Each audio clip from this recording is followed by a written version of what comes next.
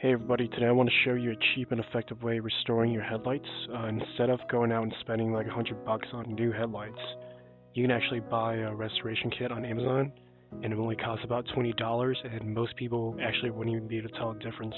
Now there are a lot of restoration kits online, but I do recommend the Meguiar's kit. Uh, the great thing about this kit is that you can do pretty much everything by hand except for when you get to the buffing stage when uh, it does go a little bit quicker if you have a power tool and everything is provided for you already in the box uh, except for the microfiber, the glass cleaner, and the tape. Alright, so the first step is to get the headlights prepped for the sanding stage. We want to give it a quick wash with the glass cleaner and then grab a clean towel and just wipe it off just to make sure that all the debris is off it so once we're doing the sanding part it's not scratching the glass itself.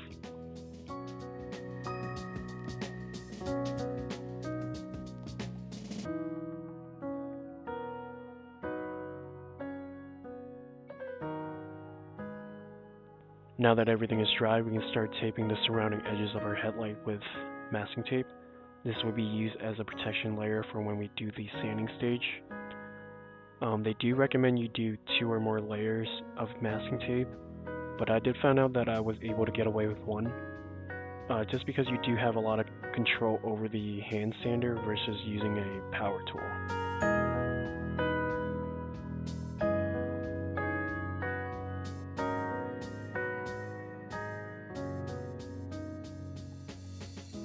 So unfortunately my camera fell out of focus while I was sanding with the 1000 grit sandpaper, so I won't be able to show you guys that clip.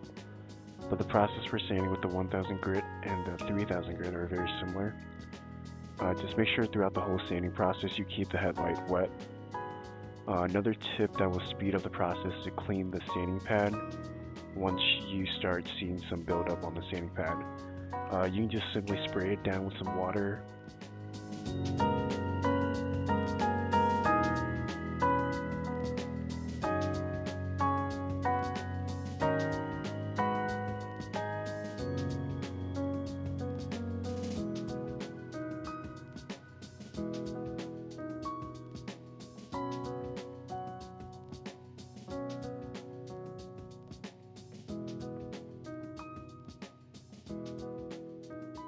I spent about 7 to 10 minutes with the 1000 grit sandpaper. Uh, you'll start to see that the headlights will look even more hazy than it did before you start sanding it down. Um, this is what you want. Uh, once you apply the buff and the clear coat, it's going to look brand new again. So once you're done with the 1000 grit sandpaper, just swap it out for the finer 3000 grit and repeat the same process to help smooth out the headlights.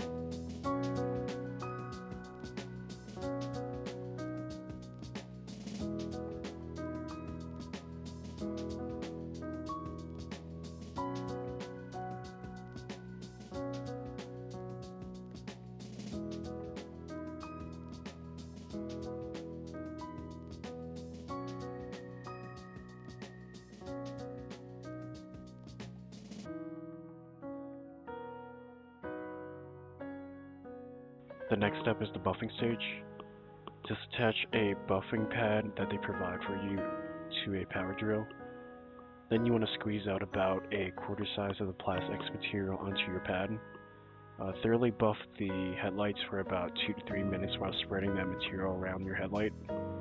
After that, just wipe it off with a clean microfiber to prepare for the next step.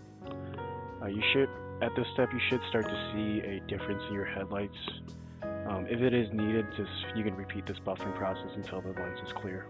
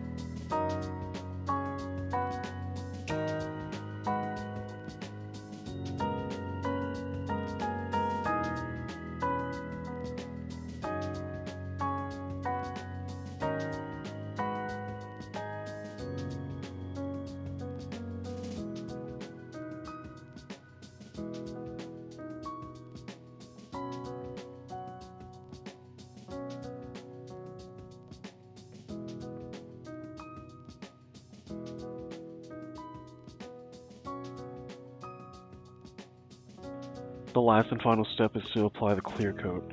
Give the bottle a good shake and apply a decent amount onto the film spread pad that they give you. Uh, you can start from the top to bottom. Just make sure that you um, cover every part of the headlight with the clear coat. Then just wait about 5 minutes for it to dry, and then you have to repeat the same process adding another layer on there. Uh, this will just help it last longer if you add another layer on there. And then after that, you should be done. Uh, they say just to keep the headlights dry for about 24 hours. After 24 hours, the clear coat should be fully cured and you should be able to tell a huge difference in your headlights. Especially if yours started out as bad as mine.